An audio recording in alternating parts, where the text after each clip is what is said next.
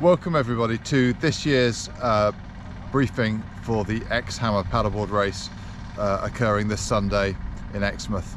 Obviously for COVID rules and regulations, uh, a lot of the things that we're going to be doing this year are a little bit different than we have done in previous years. So to start with, there isn't going to be uh, an actual briefing on the beach before the race starts. So the briefing is now. So uh, if you've got any questions, please put some put your questions in the comments underneath the video and then we'll try and answer those uh, before the race starts. So the uh, registration is going to start between 8 and 8.30 on the beach here and we are going to set up some tables just in front of the new water sports centre which is being built. So there'll be three separate registration zones. So the 14 foot, the 12 foot sixes and the round nose classes will all have separate uh, tables to do their registration. So before you register, you'll probably want to park your car.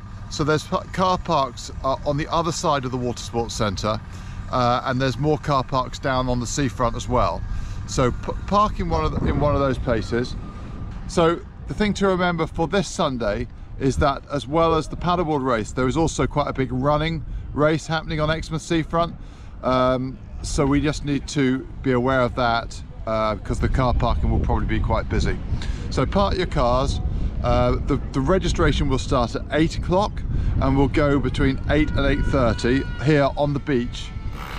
Once the, once the registration is done, can you please try to observe social distancing between different competitors? You may not have seen people for a long time and I know it's, it's um, going to be good to catch up with people but we want to try to observe social distancing. It's the first big event that's happened in Exmouth since COVID has started. Just make sure that we're COVID compliant, please. Uh, once you've picked up your race vests and the rest of your bag from the registration, the, you'll then need to get yourself ready to go out on the water for the start. So we aim to have the start at nine o'clock. So this year we're going to have two starts. We're going to have the first start will be for the 14 foot class, the 12 foot 6 classes. Um, and that will, that will start at 9 o'clock. Okay, so the, the starting sequence will be five minutes before the start of the, of the first start, so the, the, all the uh, racing boards, 14 foot and 12 foot 6, the red flag will go up. So we will raise the red flag five minutes before the start. And there will also be a hooter. At one minute before the start, the red, the, the red flag will be lowered and there will be another hooter. And then at the start, the red flag will go up again and there will be the starting gun. So run, running through that once more, five minutes, the flag goes up, one minute before the start, the flag goes down, and on the start the flag goes up and that will be the start uh, for the first start. The round nose class is going to start immediately five minutes after uh, the race boards go. So for the round nose class, once the race boards go, the red flag will go back up and that will be your start of your five minute countdown and then your start will be in exactly the same manner. So at one minute before your start, the red flag will go down and then at the start of the round nose class, the flag will go back up again and there'll be another hooter.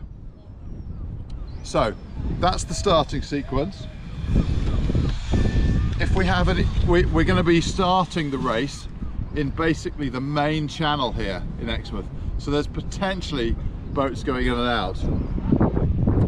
So we need to be aware of that and we've got a couple of flags that we're going to use if we've got trouble with the start, say there's a big boat coming through the start line or there's just issues. So the first thing that we will do is we will put up the red and white flag. That will be that the start has been postponed.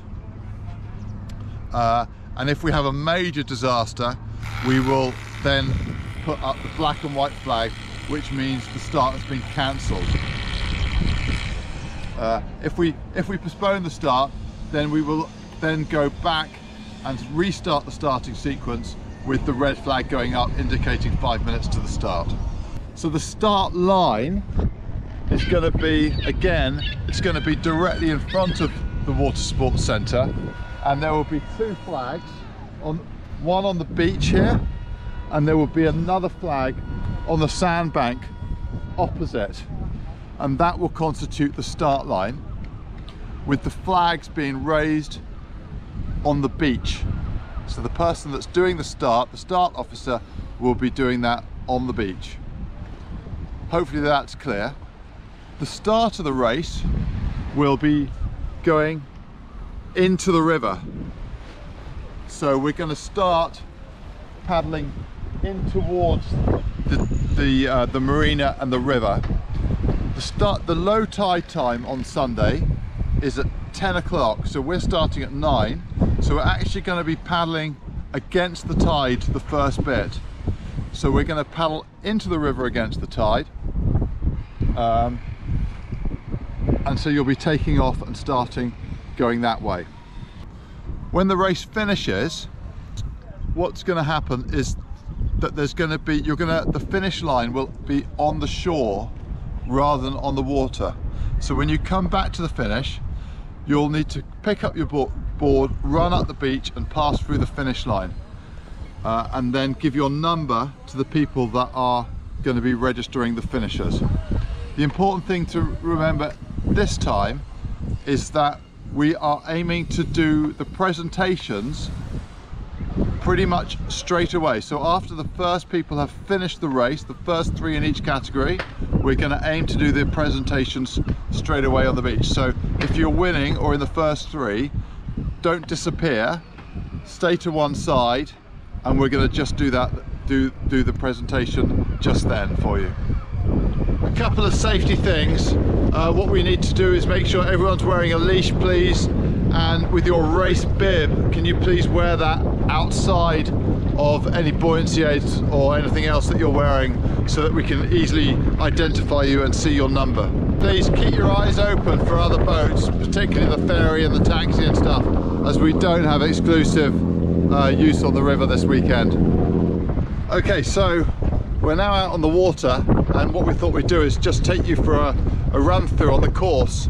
So for the leading uh, paddleboarders, finding the course should be pretty straightforward. Uh, we're going to have uh, a red boat out on the water called the 3Gs and they will be the pathfinder so you just simply need to follow that boat and they will show you the way around the course. So we've started off uh, down there on the seafront and you've you've now paddled all the way round and we're paddling up towards the dock entrance so that's in front of us here uh, we've got Liam here helping us out the main thing to remember is we're going to be following what's known as a channel course. So we're going to be observing the channel markers throughout the whole course. So as we're going into the river we're going to have all the red buoys are going to be on our left side and the green buoys on our right side. So after the start, the first buoy that you're going to come to is going to be the red buoy that's off the entrance of the docks here.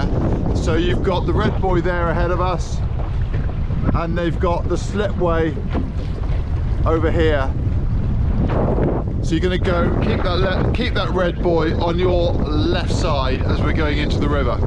Over here we've got Dawlish Warren, so that'll also be on your left side as Dawlish over there. So once you come into the river, you need to bear around to the left. So you'll have Dawlish Warren on your left hand side and follow the main channel up. So this is our first turning point. You come into the river and you come up to this buoy here, number 13 buoy, which is the green one, the first green one you get to, and that is your turning mark in the river. So come in, and make your way around that buoy. For all the buoy roundings, we're going to go round with the buoy on your right side, on your starboard side. So every buoy on your right hand side when you're going round them. So once you've made your way uh, into the river and gone round number 13 buoy it's now time to go back out along the seafront so this time you're, as you're going out the red buoys will be on your right hand side and the green buoys will now be on your left side so out on the seafront, out this way and past where you started from. So once you've gone back past the water sports centre and the start line, uh, the channel then starts to make a turn more towards to the right or to the south and then again you just follow the green and the red buoys out to sea and to the next turning mark. Okay, well hopefully it's not as windy as this when we actually come to do the race.